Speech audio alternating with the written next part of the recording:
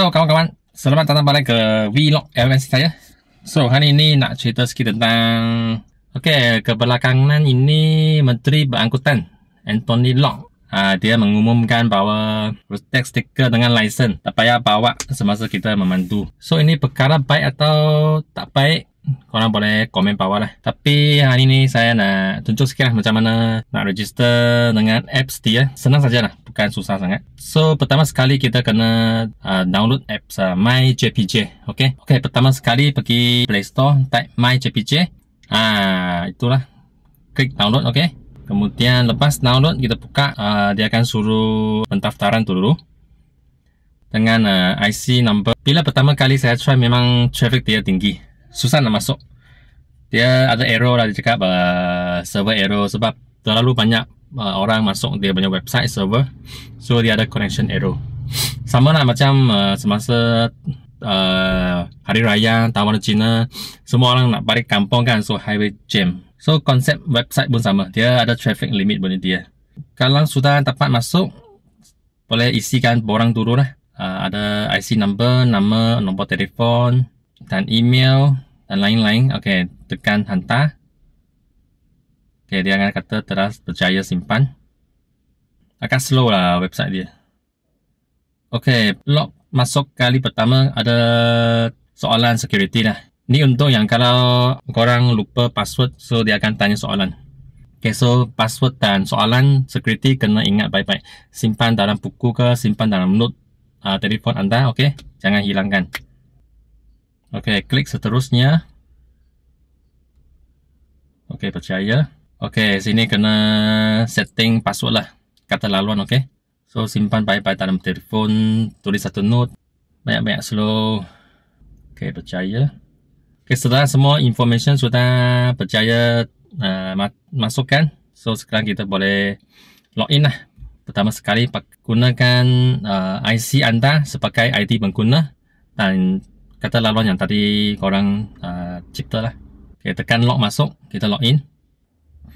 Okay, sekarang kita percaya masuk dalam uh, apps MyJPJ. So, dia ada banyak fungsi-fungsi-fungsi. Tapi, saya akan tunjuk yang terpenting punya lah. Kita scroll down. So, kita lihat bawah dia ada utama, peti masuk, directory dan profile. Ah, so, yang root text dengan license uh, simpan dalam profile. So, kita tekan lah tekan profile kemudian ah kita tengok ada dua button yang uh, terpenting lesen memantu dan lesen kenderaan motor. Ah mana root text adalah simpan di dalam lesen kenderaan motor. Ah kita tekan root text digital ah so dia ada satu QR code. QR code itu untuk uh, penguat kuasa lah. Seperti uh, pihak polis, pihak CPC dia scan dia boleh uh, tengok detail lah. Tengok semua info-info ok so sampai sini ya saya rasa ada orang ada pertanyaan sikit lah. Termasuk saya lah. Sebenarnya untuk pihak uh, CPC atau polis dia nak cek detail kita dia tak perlu tengok uh, route physical atau tengok app kita. Kan dia dia boleh tengok uh, nombor plate kita ataupun IC kita. Dia login dia punya sistem dia boleh dapat. Ah sebenarnya ni dua pun tak, tak perlu lah kan mungkin untuk yang kebaikan fizikal dia sebagai uh, reminder lah so setiap tahun uh, kita ingat nak tukar root text kan kalau tanpa fizikal punya root text atau tanpa apps mesti kita lupa kita lupa nak renew kan setiap tahun So I think satu reminder lah. Tapi untuk pihak CPC dia nak cek, kita baru lah. Dia boleh tengok number plate, tengok IC dia sudah boleh cek. Ah, okay, apa lagi? Okay, satu lagi fungsi yang amat bagus saya rasa, iaitu kita pergi pada laman utama, kita scroll down bawah. Sini ada tulis e-antuan at JPJ. Kita tekan. Ah, di sini kita boleh laporkan uh, kesalahan orang lain. Ha, sini ada beberapa kategori lah. Contohnya kakak mematuhi lampu isyarat merah, membantu di lorong kecemasan, memotong barisan, memotong sebelah kiri pun tak boleh. Uh. Dan lain-lain lah. Okay. So, korang ada nampak apa-apa kesalahan, klik salah satu kategori. Kita masuk. Ha, kita boleh uh, mod naikkan gambar atau video lah. Kalau ada video dashcam, kita mod turun dulu ke penyebutan hantar di My JPG Apps. Kemudian masukkan detail-detail yang lain lah. Uh, nombor kenderaan, nombor kenderaan, nombor telefon, uh, lokasi, koordinat dan lain-lain. Okay, dan tekan hantar, dia, dia akan hantar. Okay. Tapi efisien ke tidak, saya tak pasti dah saya belum try. okay. Fungsi-fungsi lain uh, biasalah.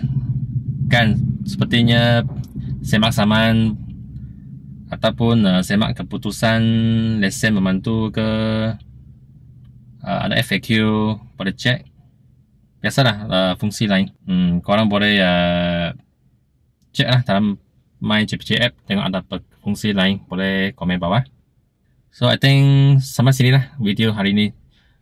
Cuma nak share sikit tentang My JPG Apps ini. Jadi korang sudah daftar ke belum? Ataupun korang rasa ah tak payah lah. Sticker root text is the best. Kalau is the best, komen bawah lah.